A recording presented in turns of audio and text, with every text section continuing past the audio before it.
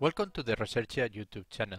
My name is Jorge and in this video I will introduce you to the Julia package Modia, an alternative to the Modelica language.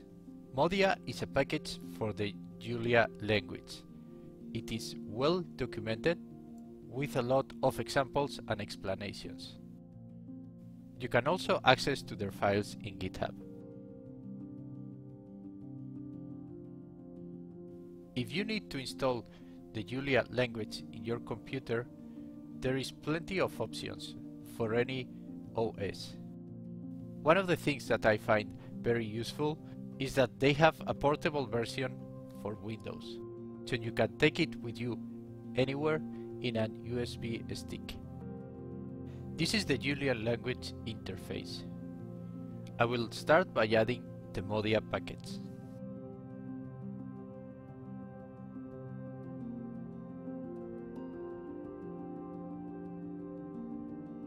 I already have it in my computer, but these are the commands you need to write to install it in yours. Now, we need a package for plotting the results.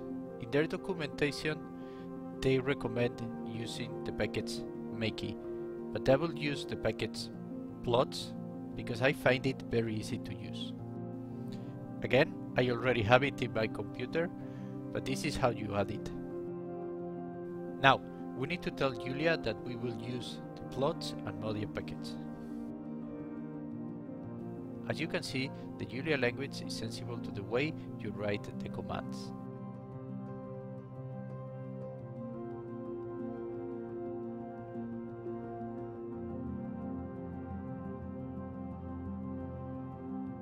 Okay, so I'm ready to start with my first model.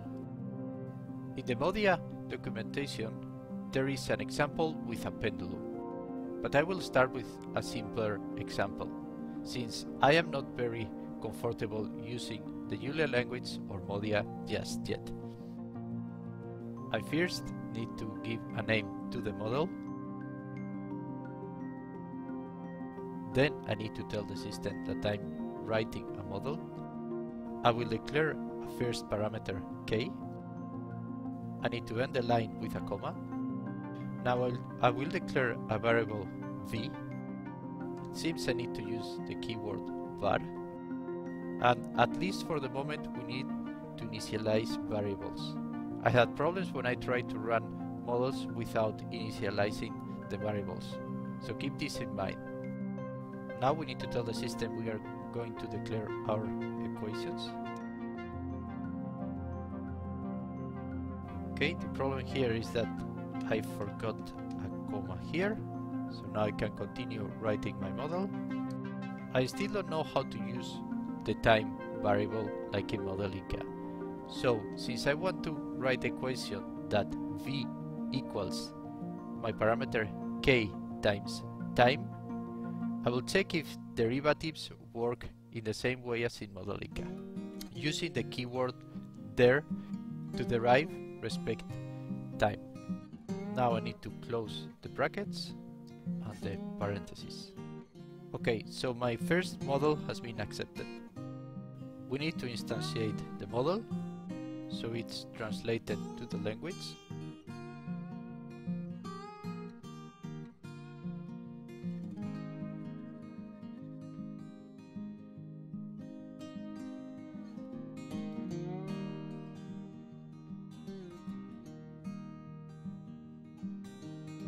Now I will simulate the model, but I want to store the results in a variable.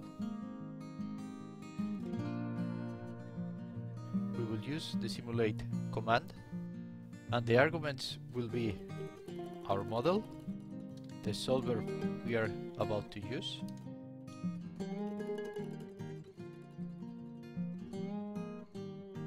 the stop time, then we define the unit seconds and the log of what's happening. So I simulate now.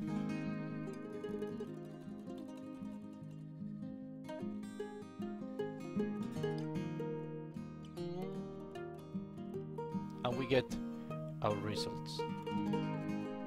I will declare a variable vs that will store all the values of our variable v throughout time. I will declare a variable x that will be used in our x-axis for our plot and it will represent all the values in time. And I will just plot the values of x versus vs. Here is the result of our simulation and as you can see it is very simple but it looks very good.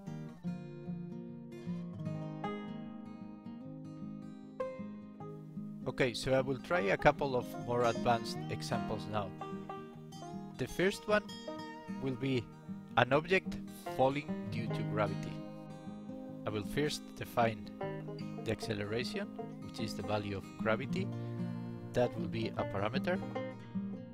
And then the variables for the velocity and distance.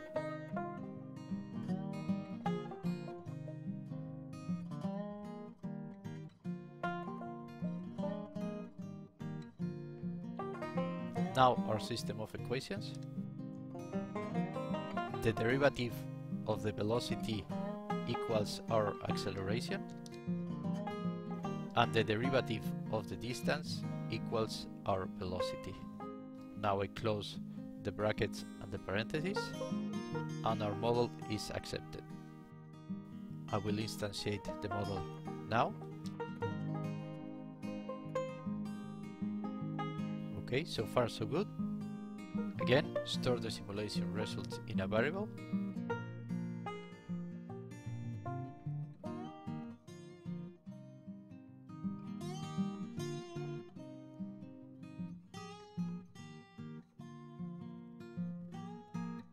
and run the simulation.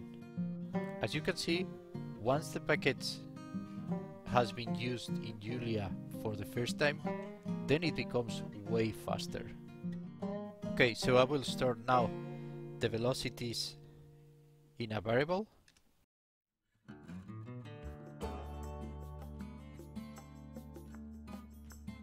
The distances in another variable. And I still have the variable for the x-axis that represents time, but I will define it just in case again, so you can see how to do it. We define the initial value, the step, and the final value of our vector.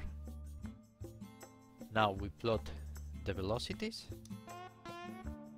We have a nice looking plot here again my mistake, have the wrong plot. I need to plot x versus vel. Okay, here we are. Again, we have a very nice looking plot.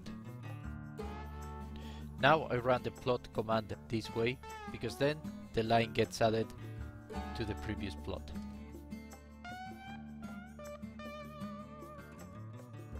Now we have a nice looking plot with the velocities and distances. In Modelica it's very useful to use the built-in variable time to get the time values. So I will try to do the same with Modia to see if it's possible, because it's a very useful feature. I will write a third model here. I will start with some parameter again, another variable v,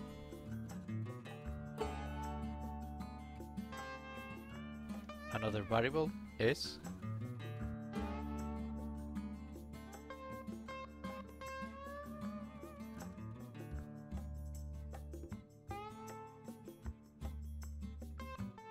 The system of equations will look like this now.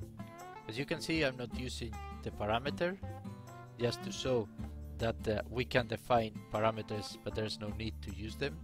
We won't get any errors. And the derivative of v equals time. So when we run the simulation after integrating v we won't get a straight line. We will get something that looks parabolic. Now I close the brackets and the parentheses. I will instantiate the model again.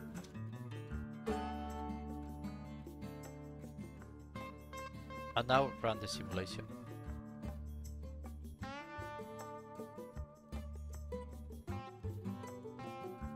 Again, I will store the results in variables. I will use two variables, vs and ss.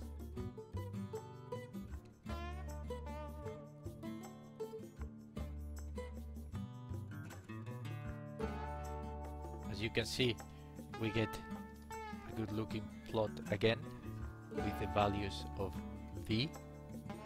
This time it looks like a parabolic function. And I will plot both results together now.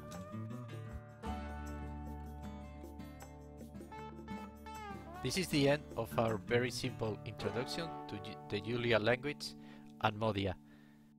Thank you so much for watching and see you in future videos.